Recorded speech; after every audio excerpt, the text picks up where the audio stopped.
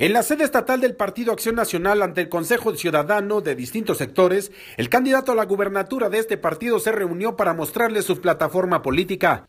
El aspirante de inmediato pidió a los presentes no temer por el cambio. Aseguró que su principal adversario ya está derrotado, pero lo importante a vencer es el miedo, el retiro de apoyos en caso de que esto suceda. Memo Anaya aseguró que los programas que tiene definidos una vez que gane las elecciones son más fuertes que los existentes y consideró importante dejar claro esto ante el electorado. Una vez más aseguró que mejorará sustancialmente los sistemas de salud en el Estado. Insistió en que invertirá dentro de sus primeros días de gobierno 250 millones de pesos más al presupuesto destinado a este rubro.